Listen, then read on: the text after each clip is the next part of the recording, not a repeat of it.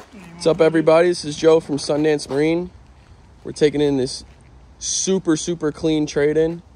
It's a 2019 Regal 21 OBX. You get a Yamaha 154 stroke. Boat and engine only have 168 hours on it. Never bottom painted, never kept in the water. Clean bottom, clean boat. Beautiful white and gray upholstery. You get the Garmin on the dashboard. Fusion stereo with a subwoofer right here. Only 168 hours. Boat shows really nice. It's like new condition.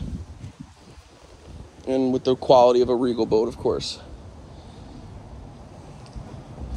Reach out to us. We're at 491 South Federal Highway, Pompano Beach.